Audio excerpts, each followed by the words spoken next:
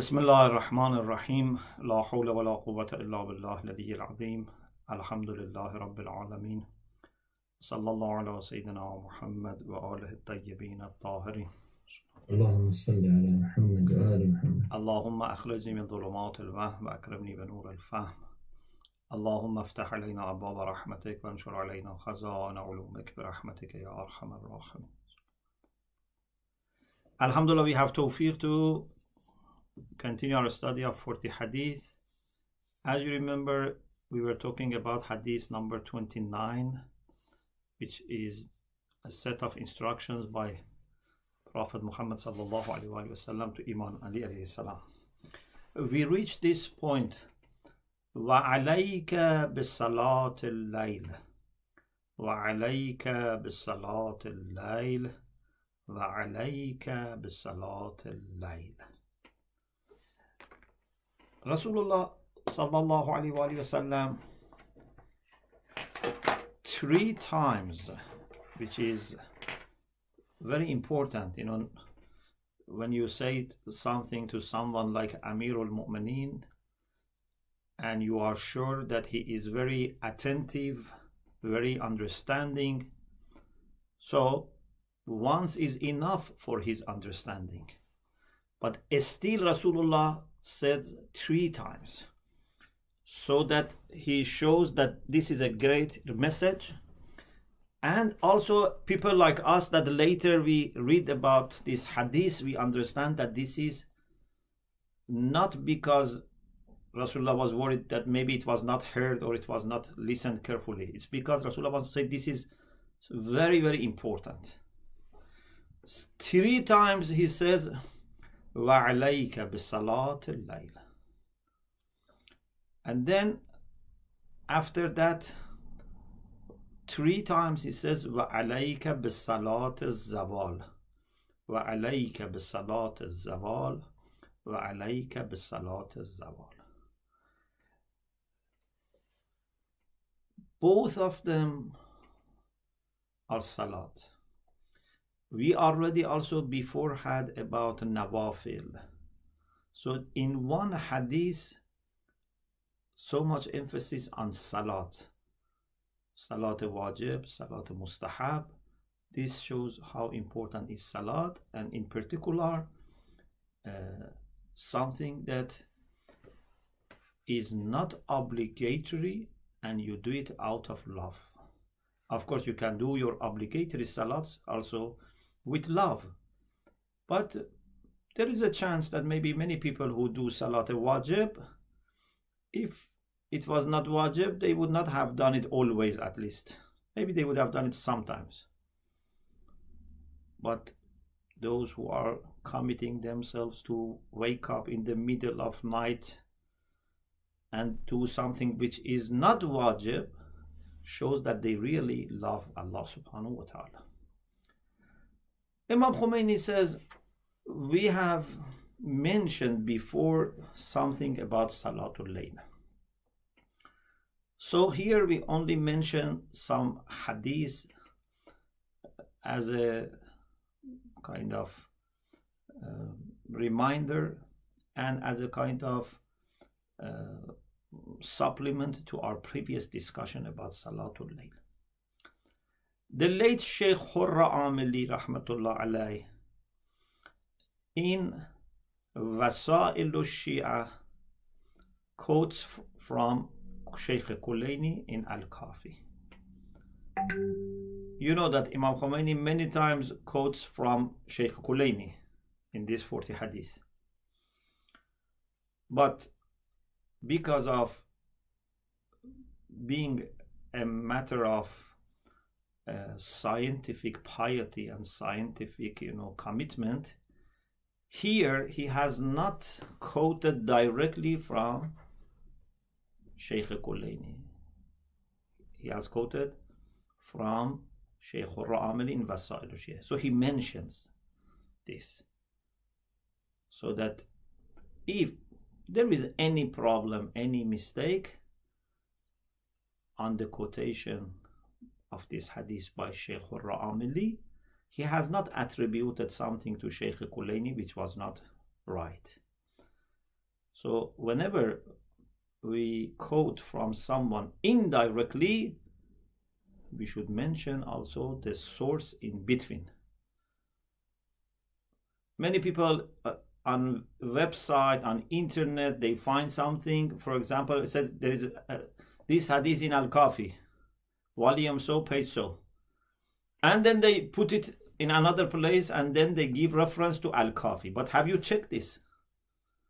Maybe this person didn't, you know, take care of uh, checking. And even if he has checked, you should say that this is taken from him someone like Sheikh Hurra Amili, a great scholar and muhaddis, still Imam Khomeini says, I am quoting from him. Doesn't say I'm quoting from Al-Kafi. Let alone you find something in someone's book or on website, you know, and you quote directly. No, you should not do that, inshallah. We should all try to go as much as possible to the first uh, source. If not, at least we should say who has been between us. So in Wasail from Al-Kafi, it is mentioned that Imam Sadiq alayhi salam said, and Abdullah ibn Sanan and Abi Abdullah alayhi salam قال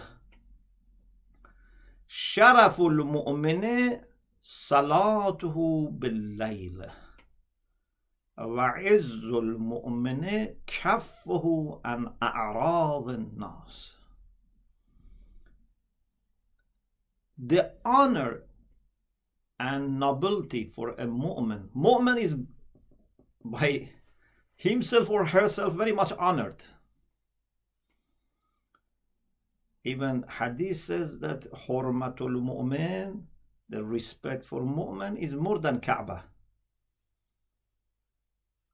Kaaba as a building, as a construction, is not as important as Mu'min. Yes, Kaaba as a concept is something that we are happy, you know, to die, give our life for it.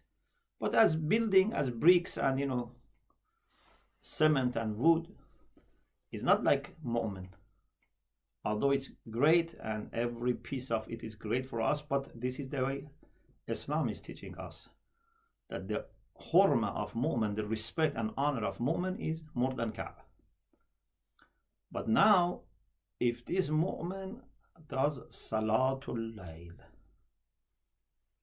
this is sharaf this is a special honor this is novelty of this mu'min that does salatul layl is like a crown on his head or her head.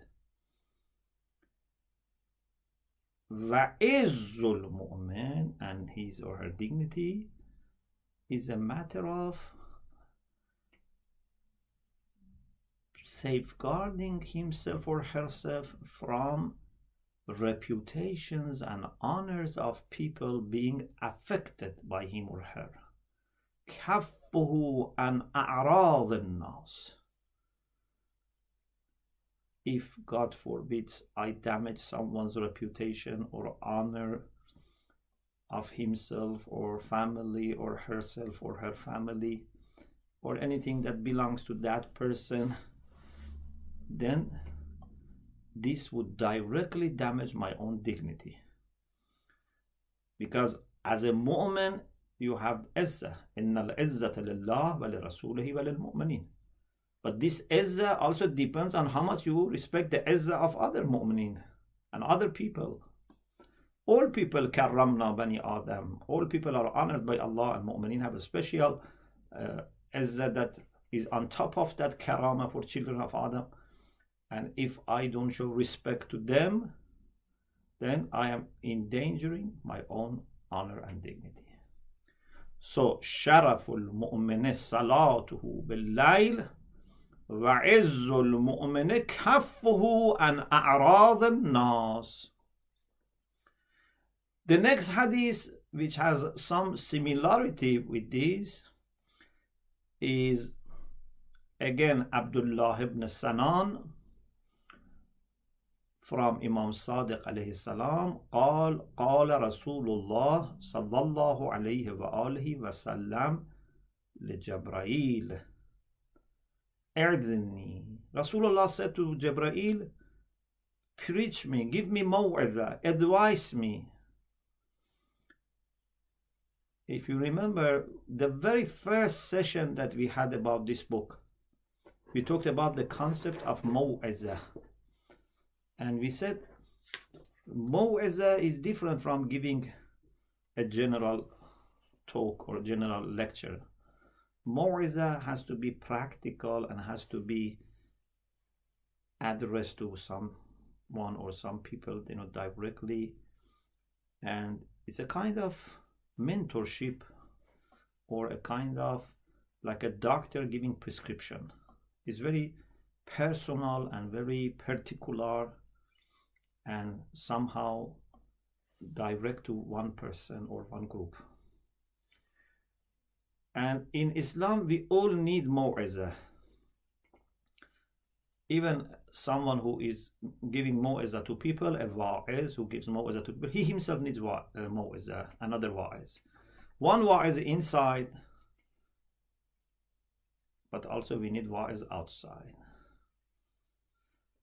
So even Rasulullah used to ask Jibreel to give him mu'izah. And Jibreel gave him this mu'izah. Ya Muhammad, ish ma shi't فَإِنَّكَ مَيِّتٌ Live as long as you like, or as you like, as long or in the way that you like, as much as you like. But فَإِنَّكَ مَيِّتٌ But you are going to die. You are dying. Just remember this point. Live as you like, but know that you are dying. If you just remember this point. وَأَحْبِبْ مَا شِئْتَ You can love everything you like, anything. But remember, you are going to separate. فَإِنَّكَ مُفَارِقُ Then, if you know that you are going to separate, that you will not love it so much or put all your energy and time for something that you are going to lose.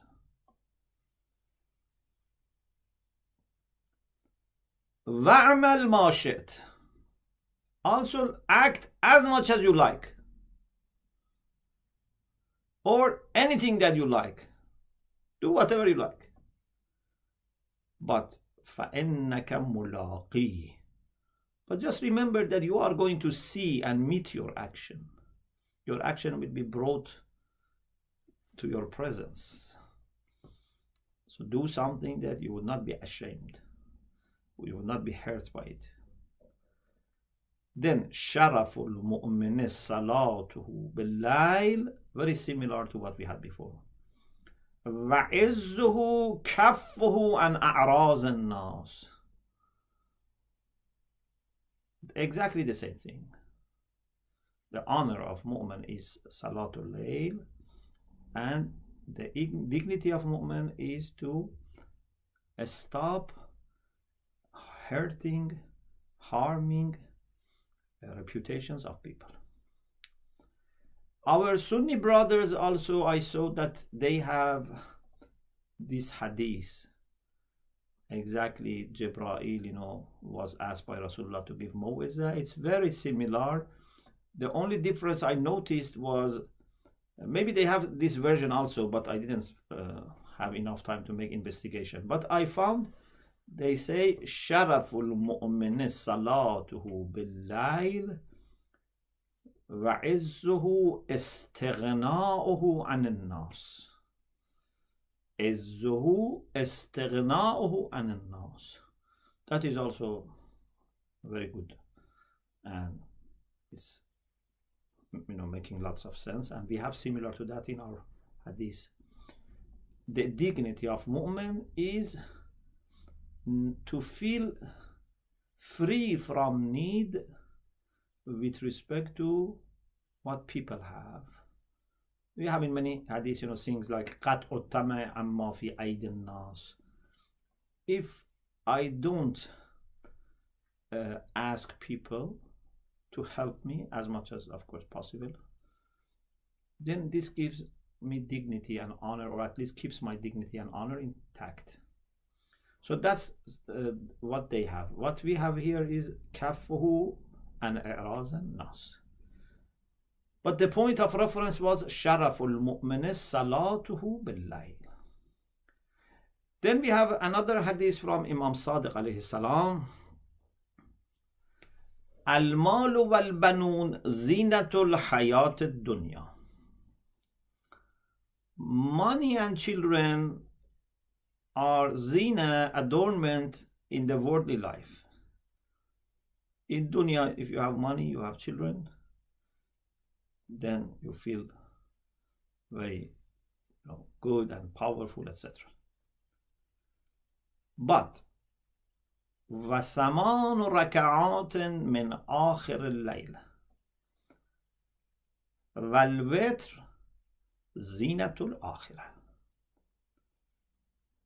but when you do eight rak'ah salatul layl and then one rak'ah, you know, we have eight and two and one. Of course, eight is four salat of two rak'ah and then two rak'ah shaf, one rak'ah witr. So the focus here is on salatul layl and uh, witr. This is zinatul akhirah. So in Akhirah, those who have this, in Akhirah, your zina is not your money or children. Of course, if you have trained good children or good students or done anything, that's another issue.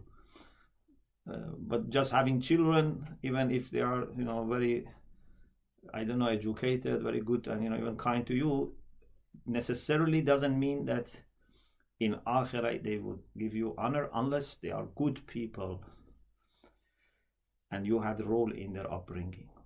So ثمان ركعات من آخر الليل والوتر زينة الآخرة وقد يجمعهم يجمعها الله لأقوام and sometimes Allah bring them together for some people they have زينة الدنيا and زينة الآخرة they have money they have children they do salatul layl so they have zina of dunya and akhirah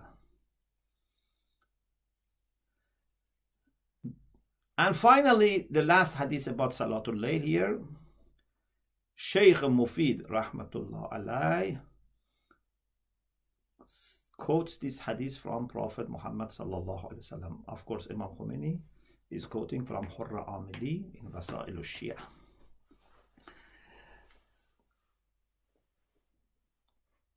قال رسول الله صلى الله عليه وآله This is good for people that when they wake up for Salatul Layl, still they are sleepy they are sleepy and sometimes, you know, with difficulty, they keep their eyes open.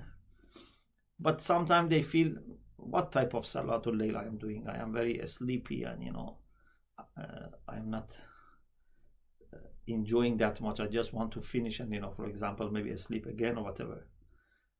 This hadith is bashara for them that still it is good. Still Allah very much loves this attempt that despite your uh, pleasure from sleeping, you leave your bed and go for Salatul Layl.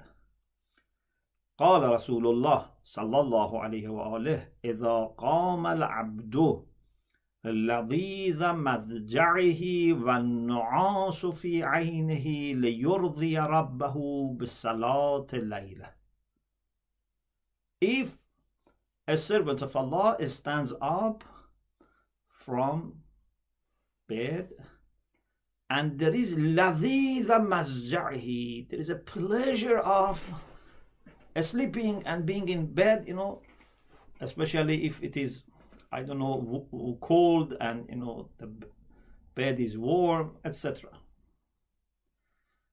nowadays alhamdulillah we have lots of facilities you know in the past sometimes people used to go out, you know, and with difficulty find water.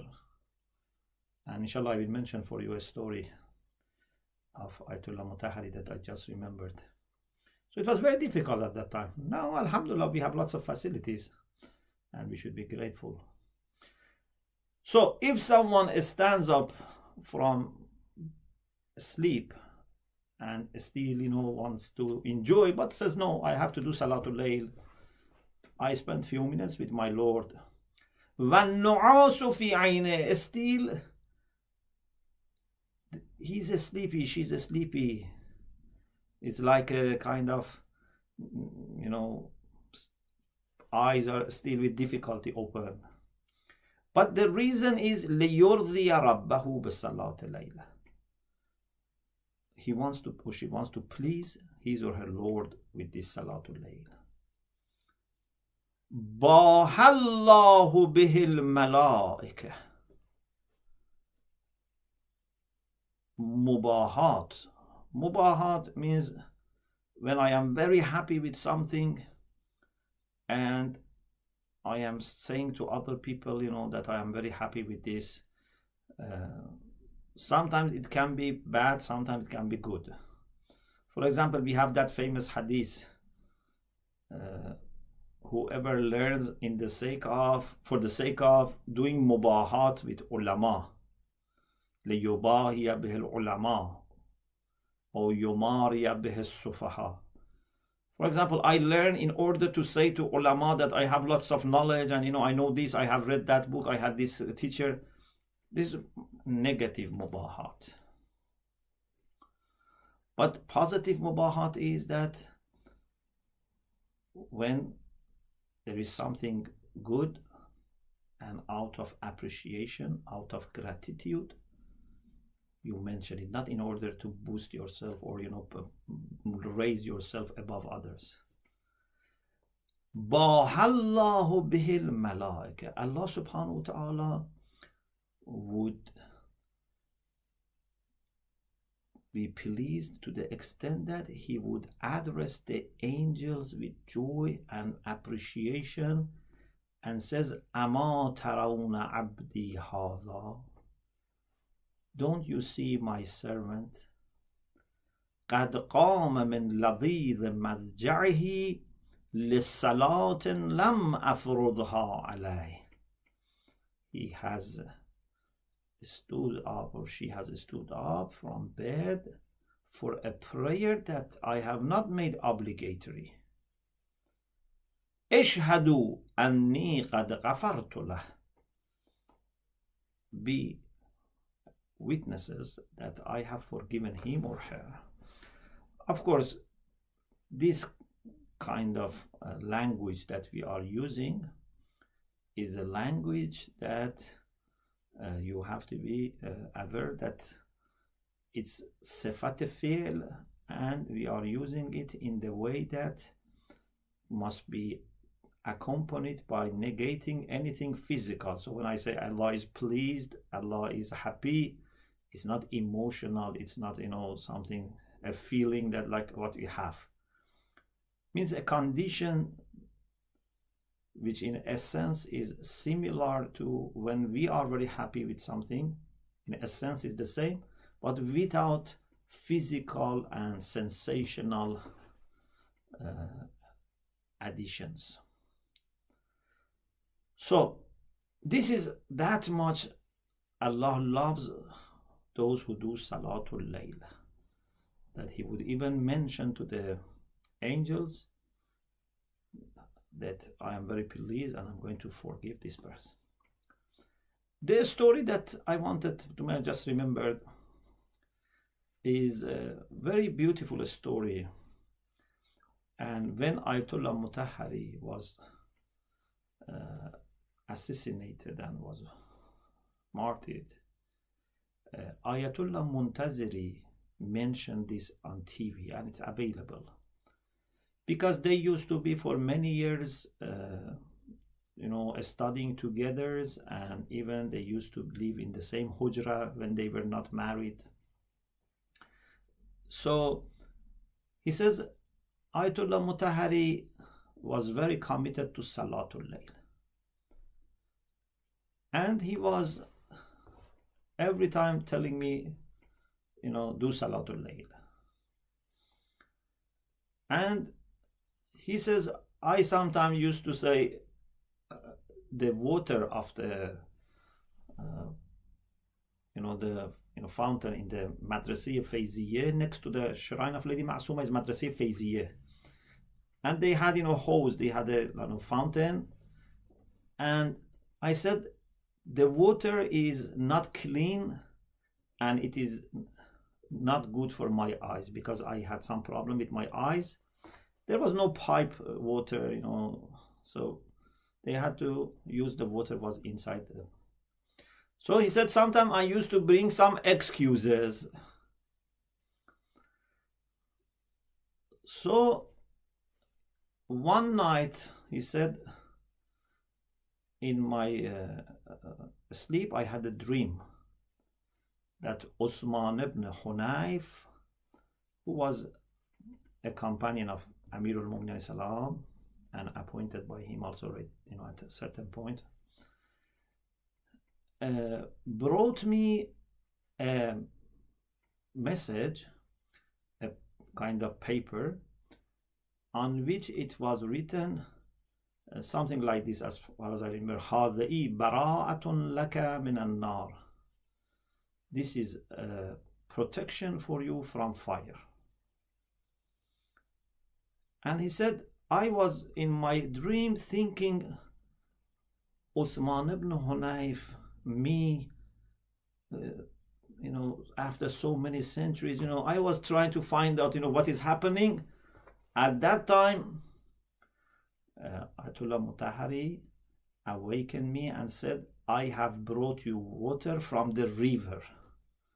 So he had gone uh, to the river there's a river passing by the shrine and uh, Madrasa Fayziyah so he had gone in the night, middle of night, all the way, bring him water and said, you know, I have brought you clean water, you know. So make your, you know, wuzu with this.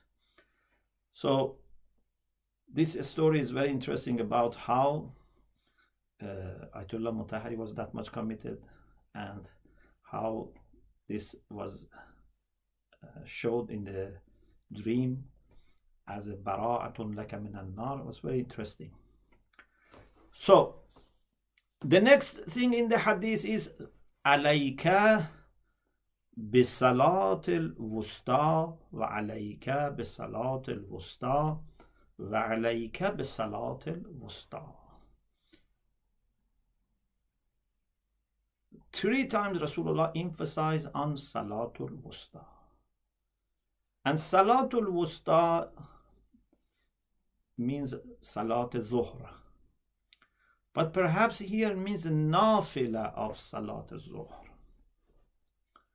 Salat Zuhr is very, very important. Allah subhanahu wa ta'ala says in the Quran, حافظوا على الصلوات والصلاة الوسطى وقوموا لله قانتين. Surah Baqarah verse 238. Hafidhu ala salawat is general. It includes all the salawat. But still Allah singles out salat al-wusta, salat al-zuhr, the middle one. Because it's the middle of the day, it's a middle salat. And it's so important that Allah mentions this. The common view among ulama is that salat al-wusta here is salat al-zuhr. And this is the first salat that Adam alayhi salam learned from Jibreel. So Imam Khomeini says it seems that this Salat Zawal that Rasulullah is saying means Salat Zuhr with its belongings, which is including proper timing and nafile of Zuhr. Nafile of Zuhr is very important. Salatul Dhuhr. We should give a special attention to it, and part of it is by, if we cannot do Nafila of Asr or Maghrib, Nafila of Zuhr is very important that we should try to uh, not miss it, at least part of it. Or if not, you know, do Ghaza of it, but at least part of it, inshallah. So, this is a second part of this uh, discussion for today. And then we have a discussion about the Quran that I would leave it for next time because there are few chapters about the Quran. وعليك بتلاوة القرآن في كل حال. but before I go to the, I finish this, I would like to mention what Imam Khomeini says at the end of this part. After talking about Salatul Layl and Salatul Zawal, he has a good discussion about significance of Salat and says, you know, if we are not careful about salat, for example, we said we have to be very careful about salat zuhr, but in general, if we say salat, but without carefulness, any time that happens in any condition, this is not good.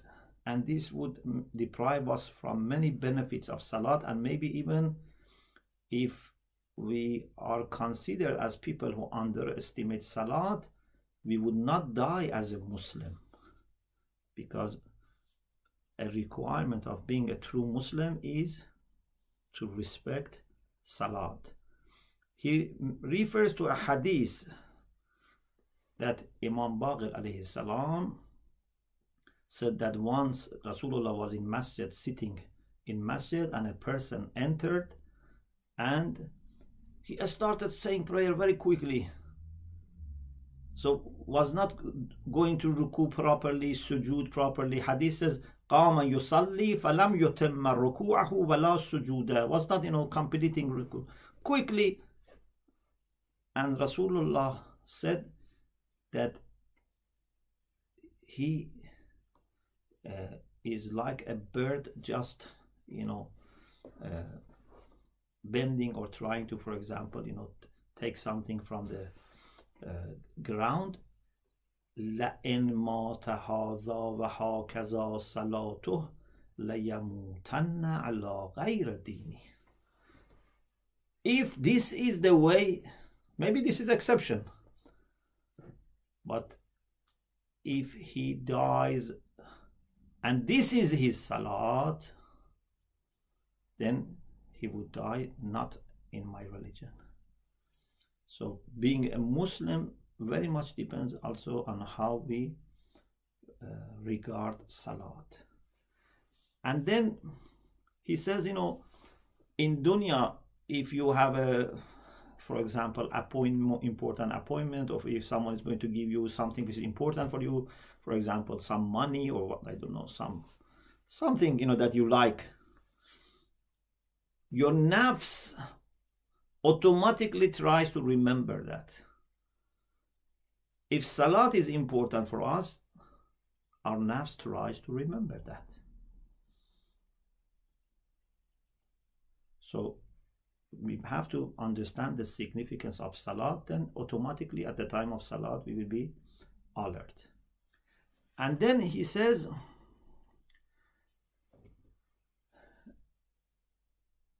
Let me read for you this in Farsi, this sentence. I found it very interesting. He says, این نمازهای پنجگانه که عمود دین و پایه محکم ایمان است. These five salat prayers are the pillar of religion and firm foundation of iman. و در اسلام چیزی بعد از ایمان به اهمیت آن نیست after having iman nothing is like salat among everything Salat comes right after iman.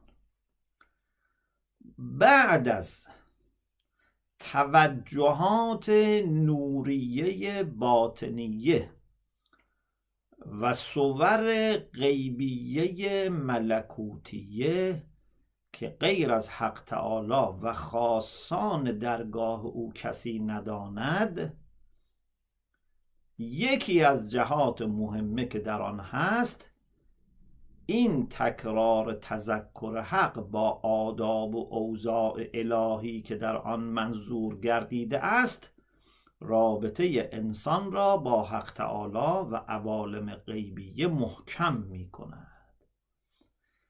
He says after some spiritual things about salat that no one other than Allah and his select servants know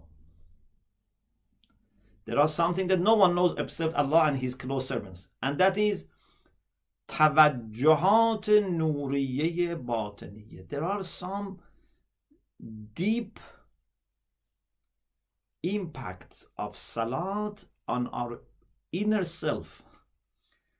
And there are some forms of uh,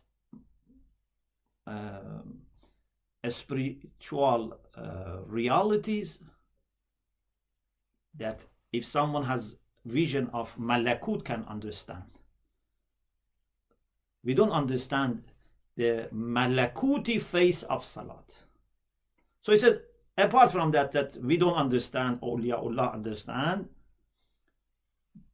one of the important things about salat is that when we keep repeating salat in this design that Allah has made, it would make our relation with Allah so strong and our relation with the hidden world, Allah and the hidden world, so strong that it would never be separated from us. And when we go through pressures of death and afterwards and the fears, etc., salat that we have said in dunya would help us not to forget our relation with Allah subhanahu wa ta'ala. So he says this salat is mu'inuka fi ulaka wa ukhrak. It's your help in dunya and akhirah. And we should be very careful not to underestimate our salat, inshallah. May Allah inshallah include us among people who establish salat inshallah alhamdulillah rabbil alamin